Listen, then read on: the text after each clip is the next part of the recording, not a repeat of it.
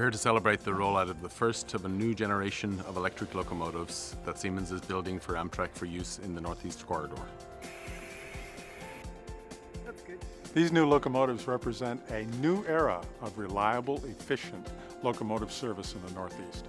We build and design to US standards, and some of the US standards are the most stringent standards in the world when it comes to rolling stock, both in terms of safety, sustainability, and reliability. We have a, a network across the United States that brings a lot of people into the Northeast Corridor. To provide that mobility, we have electric locomotives. This is the workhorse of the fleet.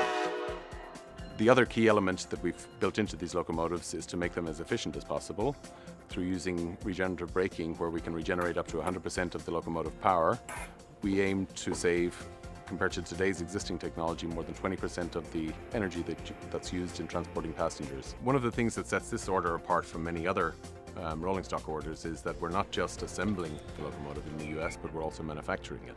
We start with sheet metal and we end up with a completed locomotive. These locomotives have been built here in the United States. 70 different uh, sub-manufacturers. Today we have a rebirth, a regrowth of rail transportation in the United States.